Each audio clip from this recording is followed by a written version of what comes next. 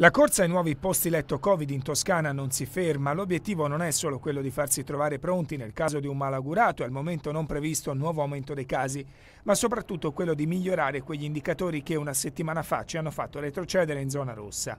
Ad esempio il dato sull'occupazione dei posti di terapia intensiva che al momento ci vede molto distanti dalla soglia di sicurezza fissata dal Ministero della Salute al 30%. Secondo la Genas, l'Agenzia Nazionale per i Servizi Sanitari Regionali, la Toscana occupa occupa il 47% dei posti disponibili, uno sforamento del 17% che è molto più alto anche di quello della media nazionale, che è pari al 42%.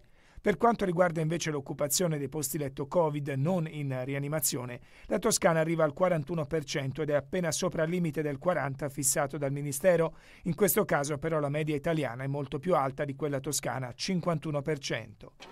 E poi c'è il dato del tracciamento dei contatti stretti dei positivi di cui la Toscana è pronta a fare vanto. Il governatore Gianni ha annunciato che entro il fine settimana la capacità di risalire ai contatti stretti arriverà al 100%. Un altro tassello della strategia regionale è quello dei tamponi fai da te da utilizzare negli ospedali in contesti sorvegliati, magari scuole o aziende in cui sia presente un medico del lavoro che può trasferire dati al portale regionale. Lo strumento per realizzarlo è stato individuato in UFFA, il tampone messo a punto dalla professoressa Chiara Zari al Meyer e già sperimentato nei dipendenti dell'ospedale pediatrico. La risposta sull'affidabilità si è rivelata alta, solo il 2% di falsi negativi e il 10% di falsi positivi che però vengono neutralizzati col fatto che ogni positivo viene poi rielaborato con la tecnica del tampone classico.